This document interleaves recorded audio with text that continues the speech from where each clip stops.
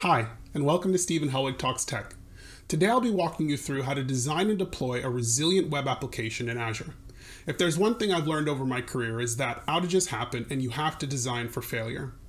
Leveraging Azure App Service and Azure SQL Database, we can quickly deploy our application in multiple regions and design for some of that resiliency. I'll be walking you through both the architecture so you know what we're deploying and why we're deploying it, and then walking you through deploying a .NET Core application with a SQL backend to multiple regions with automatic failover. All right, let's get started.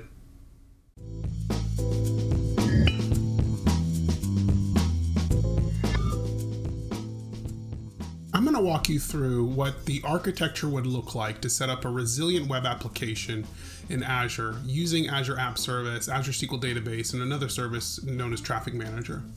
Uh, if you look here, we just kind of have an empty diagram and we see that we have two regions. In this case, I'm going to use West US 2 and East US.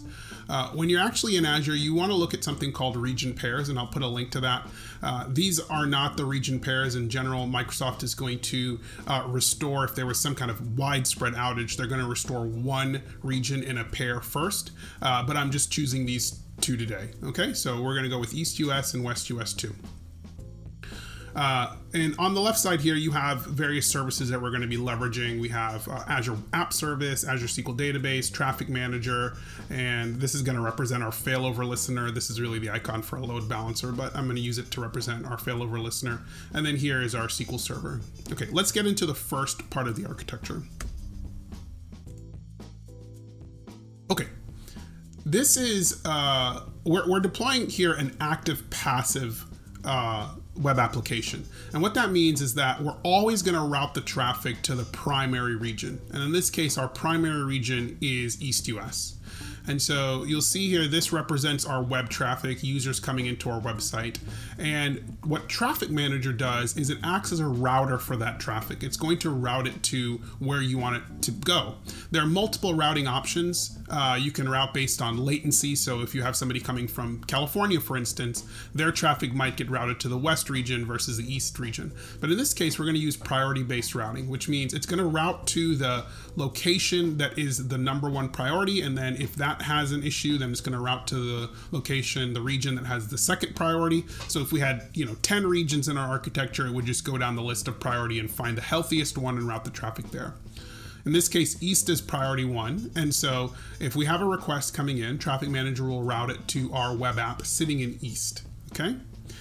Our web app is connected to the SQL database. We can make this connection directly, but what we've set up for our SQL environment is known as a failover group listener. And that failover group listener takes the communication from the application and then routes it to the database that's set up as a primary. So it's like a traffic manager for your database. And this comes from the uh, a concept of SQL Server Always On, which has been around for a while, right? And so our web application is is talking to the failover group listener, and the failover group listener is saying, hey, what's my primary database? Okay, it's the database sitting in East US. I'm going to route my traffic there. And when the transactions hit that primary database, it's going to geo-replicate those transactions to the secondary database. This secondary database is not writable, but it is readable. So we could have an architecture in which we are reading information from the secondary database. For instance, like our reports, we could use Power BI and our reports could be served out of that secondary database. Or even in our web application, we could serve content out of that secondary database for either faster response time if we are using a latency-based routing method, or simply because uh, we want to just offload some of the read requests of the primary database. So this is what a normal active passive environment. Everything's up, everything's working fine, nothing to be concerned about. This is how our traffic will flow. Now we're going to look at what happens if there's an outage to the website. Okay, so here again, you know, we have this little X here to represent, okay, there's an issue here with my website. It's down for some reason. Traffic Manager has detected that. There are health checks that Traffic Manager does on your website, and they detect whether or not it's, it's operating normally or not. When Traffic Manager detects an outage, and you can set how long it has to try before it says, hey, there's something wrong here, it's going to start routing the traffic to the second uh, website in the priority list. And in this case, it's our website too.